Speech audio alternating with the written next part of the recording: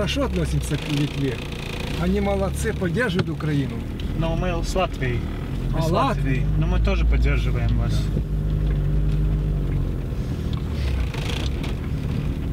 Куда мы сейчас едем? Сейчас едем э, на залезночный вокзал. Да. Там люди, там, там жизни нет. Ага. А почему нету жизни? Ну вот там рядом построили. Собственно, город, чтобы построить, они сделали селения, то есть временные. Да. Всё. Да, уже нет. Люди жили там сотни, сотни лет. Они там все, все вас нет.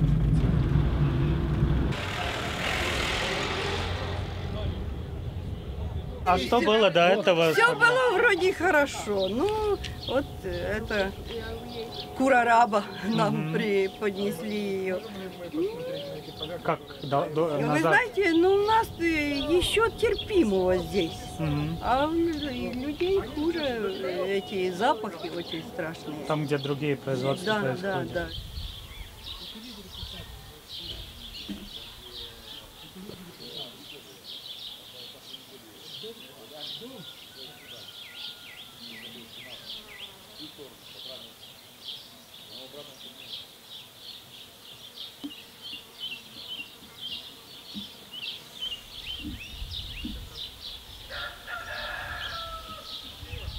Mēs šobrīd esam atbraukuši uz uh, Viņas rajonu, Ukrainā, kur uh, apmēram 5 gadus atpakaļ uh, tie tika uzsākts un veidojās ļoti milzīgs agrokomplekss, kas ir izveidojies tik liels, ka viņš jau ir kļuvis par ļoti nozīmīgu spēlētāju gan pašas Ukraiņas gaļas rūpniecībā, gan arī pat Eiropas mērogā.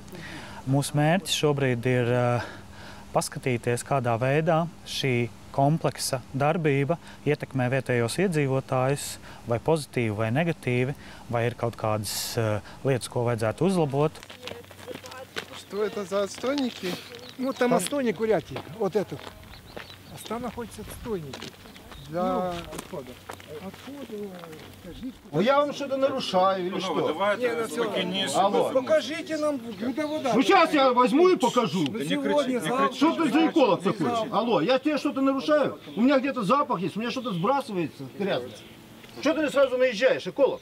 Знаете что, когда эколог не, э, не владеет ситуацией и начинает на специалиста кричать, Да не кричим, покажите нам, куда спрашивать. я тебе сейчас должен показать. Ну сегодня... Я вот щас вот, ты- На сегодня на протяжении два дня. Товарищ эколог, вы для того, чтобы мы могли вам показать, вы можете написать нам бумагу.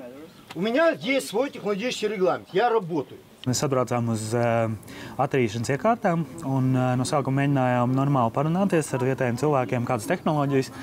Jo uh, tieši Nīderlanda interesējās par to, kādā veidā viņi attīra tīri tehnoloģijas, kādas kompānijas piesaista, lai tas viss tiktu darīts. Un, uh, bet vietējais ekologs uh, sāka runāt diezgan kategoriski, pieprasīt, lai reālos parāda, kur tieši ūdens nonāk un, un tā tālāk un tā joprojām. Un, Tie vietējie cilvēki, kas ir speciālisti un apsargu un īpašnieki, nu, tā kā visi šie menedžeri palika agresīvi un tīri kategoriski, nu, kas zināmā mērā parāda arī viņu attieksmi pret vietējiem iedzīvotājiem. No vienas puses ir tā formālā daļa, kur viņi saka, ka viss notiek tā kā vajag un ka inspekcijas ir, bet no otras puses reāli kaut kāda dialoga viņi neveido ar vietējiem cilvēkiem. un Tas acīm redzot, rāda kaut kādu zīmi. Un Tad mēs turpināsim skatīties, vai tik tiešām ir kaut kādas uh, problēmas. Ребят, ви повинні поки ти, ну, по, хто там розуміє по-нашому. Я, я говорю, Скажіть, будь ласка, щоб вони покинули нашу територію Да. і вийшли туди за це, там як люди. Тому що територія охороняється. Будь ласка, покиньте нашу mums ir jāiet, tā- tāpēc, ka šī apsardz un šī piedarot vietējiem. Да. Будь ласка, компанія. покиньте нашу територію, вийдіть туди і там звідти, будь ласка, знімайте, робіть свій репортаж. Хочете понти покидати, покидайте. Та ви ж кидаєте понти, Ну, ніхто ж понти не кидає. Кидаєте ви. Це, це ви кидаєте понти. Раз вигнали з ми- міліції, то виженуть звідси. Не, не, не переживайте. Хорошо.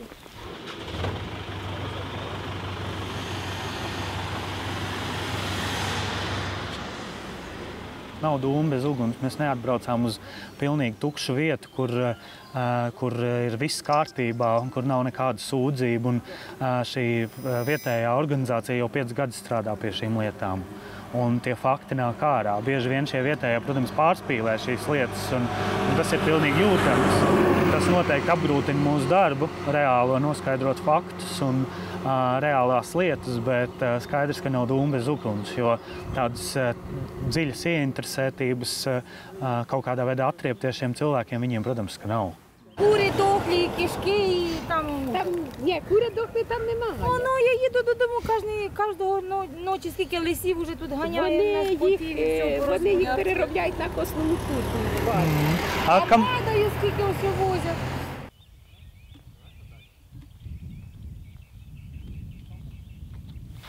Оце вона ось закопана. а, це закопано, да?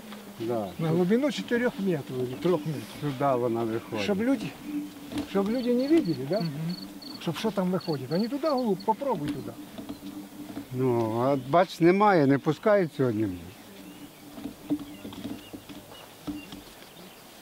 И как это выглядит, когда они пускают эту воду? Буває, що такий гриб десь півтора-два метра. блін. Да? Да.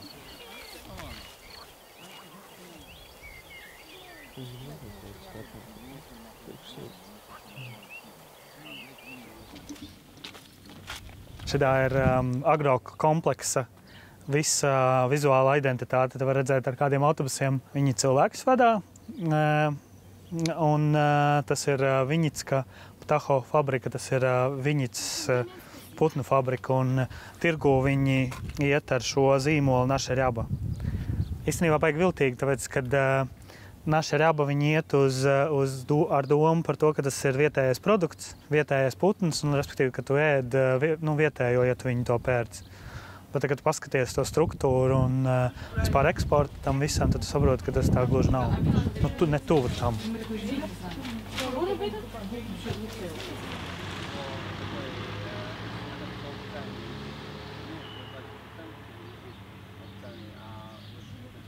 Nu, ja runā par Ukrajinu, viņi ir daudz tuvāk nekā mums liekas. Un šie cilvēki ir daudz tuvāki nekā mēs pat varam iedomāties. Un to vajag jebkuram cilvēkam, lai to vislabāk saprastu, vajag izjust un atbraukt uz šejienu.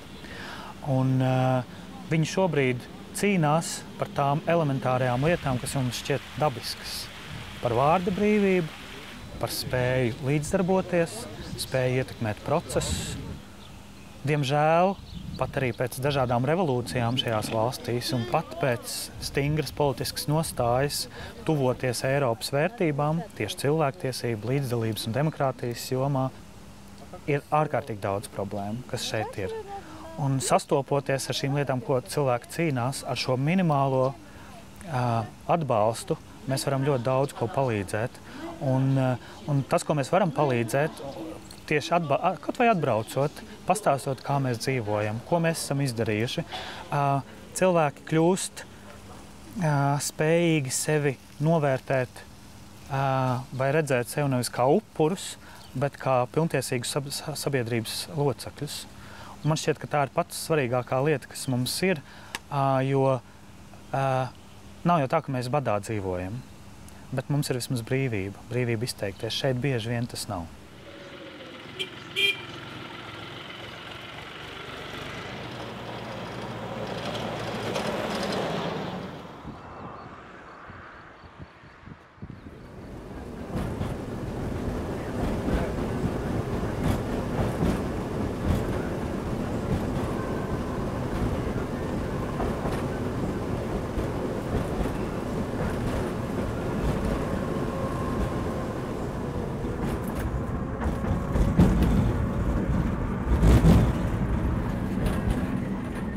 Es esmu diezgan daudz gadus strādājis dažādās jomās, un uh, diezgan ātri es sapratu, ka pasaule ir plašāka un jautājumi ir daudz dziļāki.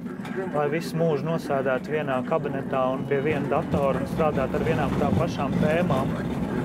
Un, uh, kaut nedaudz pieskaroties kaut kādām pilsoniskās aktivitātes jomām, es diezgan ātri sapratu, ka tas ir tas, kā es gribu nodzīvot savu dzīvi.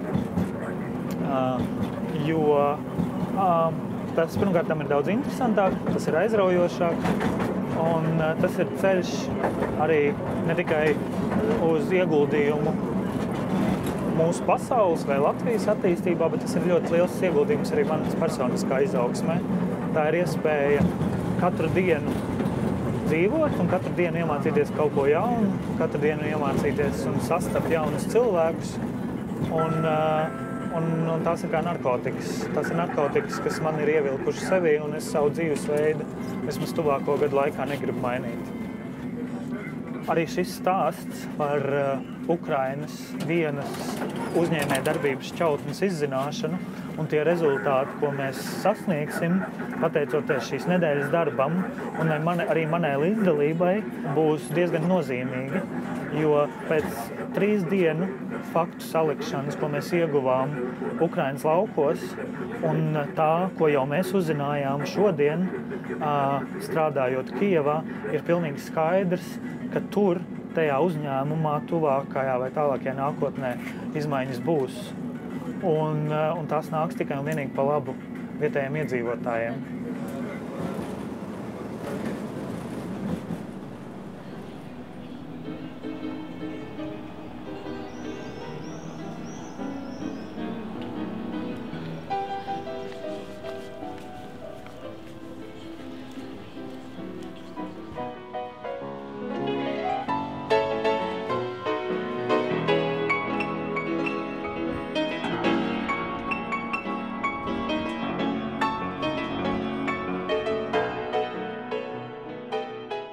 Ticu, ka eh, vārds konkurence tīri attīstības prizmā, valstu attīstības prizmā izzudīs no mūsu ierastās runas vai vispār pieņēmumiem par to, kā ir jāattīstās, ka pasaulē būtu jāattīstās balstoties uz konkurences.